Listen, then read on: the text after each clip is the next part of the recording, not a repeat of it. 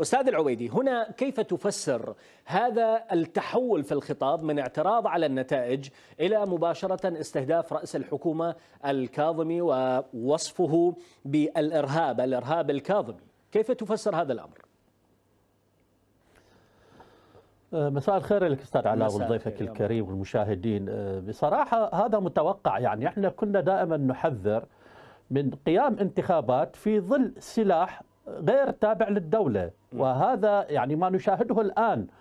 يعني وفعلا هو لا وجود لمقارنة بين مظاهرات تشرين والمظاهرات الحالية لأن متظاهري تشرين لم يخرجوا للمطالبة بإلغاء انتخابات أو نتائج انتخابات أو استهدفوا استهدفوا العملية السياسية ككل.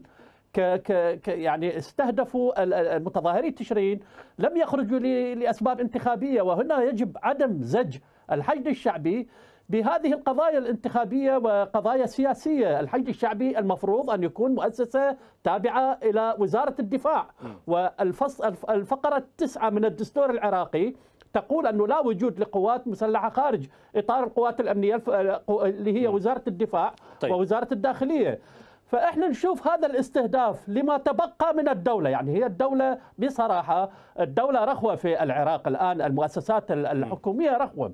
هذا الاستهداف عندما يأتي ويأتي على رأس رئيس الوزراء الذي هو يمثل الدولة يعني العنف أيضا مرفوض من الطرفين. يعني من الطرف الحكومي مرفوض هذا العنف وأيضا من طرف المتظاهرين. إذا أخذنا بنظر الاعتبار أيضا أن أغلب الجرحى يعني 125 جريح حسب بيان وزارة الصحة يوم أمس أغلب الجرحى هم من القوات الأمنية. إذا كان هناك عنف على القوات الأمنية وهذا كان رد فعل وأنا لا أفهم متظاهرين ماذا يريدون أن يفعلوا في المنطقة الخضراء أن يدخلوا طيب. إلى المنطقة الخضراء هل القصد هو إسقاط الحكومة هل القصد هو يعني تبديل قد يكون القصد الضغط على الكاظمي يعني أنا لا أفهم هنا على مكاسب انتخابية بعد أن دب اليأس ربما من فكرة تغيير النتائج هل يمكن أن يكون هذا هو المخرج أو التفسير؟